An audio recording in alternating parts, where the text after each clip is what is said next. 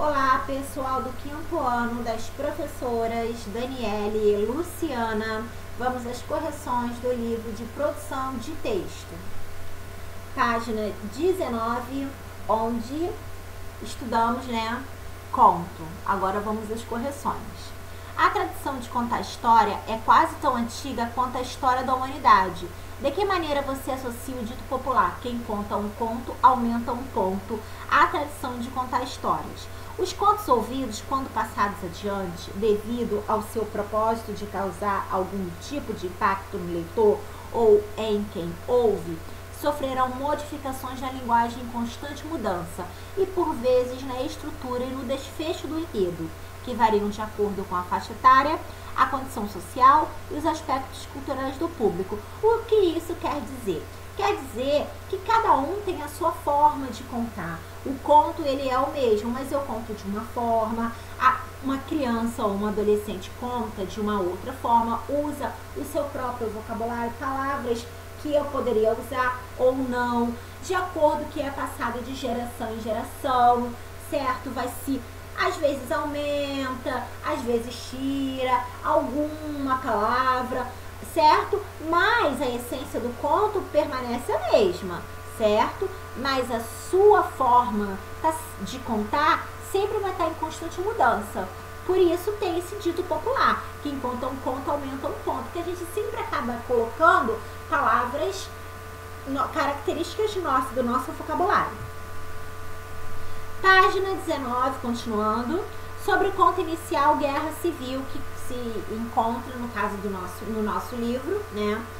É, que tipo de conto você acredita que ele seja? Ele é um conto de humor, porque ele apresenta características humorísticas engraçadas nele. Agora vamos para a página 20, ainda sobre o conto Guerra Civil, como se fosse é, é a interpretação, no caso desse conto, né? Qual é o enredo? Escreva resumidamente. A eminência de uma guerra civil entre os revolucionários de Caguaçu e os legalistas de São Tiago. Quem conta a história participa dela ou apenas transmite-a? A história é somente transmitida por quem narra. O narrador não participa no caso desse conto aí. Ele só só narra. Em que espaço e tempo desenvolve-se a trama? A história acontece às margens do rio Jacaré, no período da noite até o amanhecer. Página 20. Qual é o clímax? A decodificação da mensagem transmitida pelo movimento das bandeiras. E qual é o desfecho? A mensagem é decodificada. Ela é traduzida, ela foi descoberta, certo? Conseguiram traduzir, né? Descobriram o enigma da mensagem e aí o comandante envia uma resposta.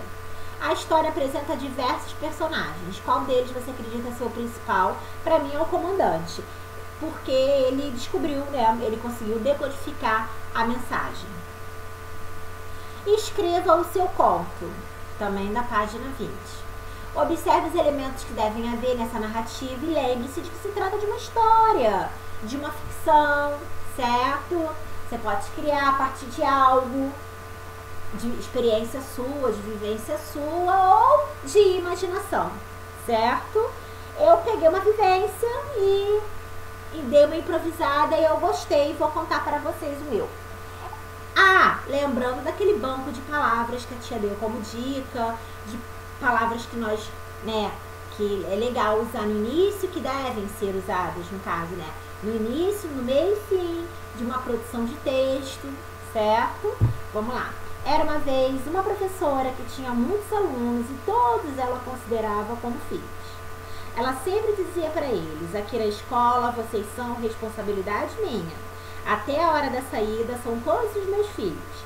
E a turma ria e gostava muito de ouvir isso da professora. De repente, aconteceu algo na cidade em que essa turma e essa professora moravam, os impossibilitando de ir para a escola. Todos tiveram que ficar em casa para não adoecerem. Ficaram estudando por videoaula e sentiam muitas saudades uns dos outros. Finalmente, um dia, tudo voltou ao normal e eles se encontraram. Foi uma festa. Quanta alegria, quanta felicidade. Graças a Deus, tudo passou. Gostaram da minha história, do meu conto? Bom, beijos, muitos beijos das tias, da tia Dani, da tia Lu, tá? Estamos com saudades, fiquem com Deus e cuidem.